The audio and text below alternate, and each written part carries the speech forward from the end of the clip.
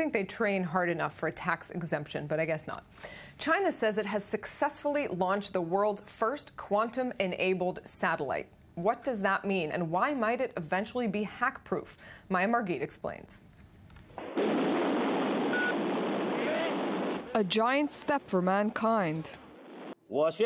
I hereby declare that the launch of the quantum experiments at space scale satellite was a complete success. China has taken a great leap forward in the space race, launching the world's first quantum satellite. The satellite is named Demisius, after an ancient Chinese philosopher.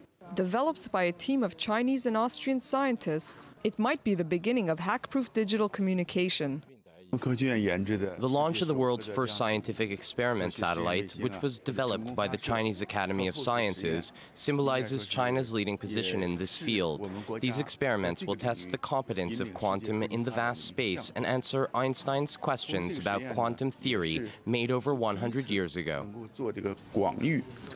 So, how does the satellite work? Rather than relying on encryption, it's based on mind bending physics. The satellite creates tiny subatomic particles of light, which it then beams down to stations in China and Austria. Only these stations can read the data, because the particles burst if anybody else tries to intercept them. Quantum technology is a national priority for Beijing.